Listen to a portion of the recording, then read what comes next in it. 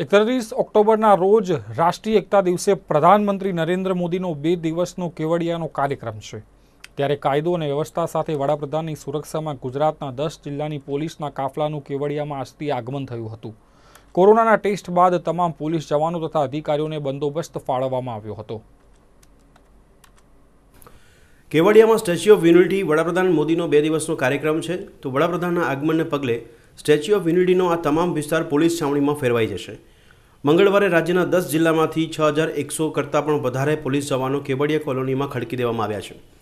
Statue of યુનિટીમાં આવતા police કર્મી સહિતના તમામનો corona antigen test કરવામાં આવી રહ્યો છે.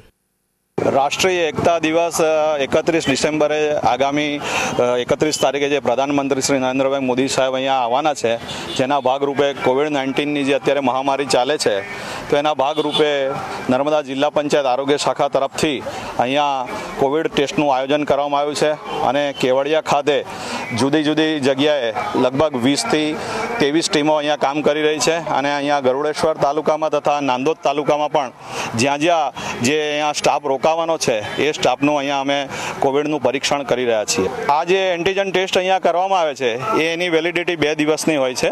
ત્યારબાદ અમે ફરીથી એનો ટેસ્ટ કરી રહ્યા છીએ. અત્યાર સુધીમાં આ સેન્ટર પર પચાસ જેટલા ટેસ્ટ થયા છે અને એમાં કોઈ પોઝિટિવ મળેલ નથી. કેવડિયાના વિવિધ વિસ્તારમાં કોવિડ નાઇન્ટીનના છેતાળીસ બૂથ ઊભા કરવામાં આવ્યા છે, જેમાં બહારથી આવતા તમામ પોલીસ કર્મીઓનો કોરોના ટેસ્ટ કરી એક પીળો પાસ ઇસ્યુ કરવામાં આવ્યો છે. આ પાસની અડતાલીસ કલાકની વેલિડિટી હોય છે. જે પાસ વગર કોઈપણ પોલીસકર્મી ફરજ પર હાજર નહીં થઈ શકે. કોરોના ટેસ્ટ કરીને પીળો પાસ પાસે રાખવો પોલીસ જવાનો સહિત સ્ટેચ્યુ પર આવતા તમામ વ્યક્તિઓ માટે જરૂરી છે. કેવડિયા કોલોની ખાતે મંગળવારે વડોદરા રેન્જના આઈજી હરિકૃષ્ણ પટેલના અધ્યક્ષ સ્થાને એક સેમિનાર યોજાયો હતો, જેમાં આ બે દિવસના કાર્યક્રમમાં સુરક્ષા વ્યવસ્થા કઈ રીતે કરવામાં આવે તેની માહિતી આપવામાં આવી હતી.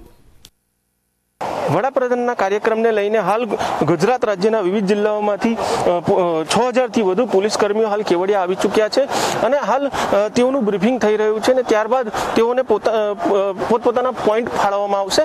હાલ જે અન્ય જિલ્લાઓમાંથી જે પોલીસ કર્મીઓ આવી રહ્યા છે, તેઓને લઈને હાલ આરોગ્ય વિભાગ દ્વારા અહીંયા કોરોના ટેસ્ટ પણ કરવામાં આવી રહ્યો છે અને તેઓને યલો પાસ આપવામાં આવે છે.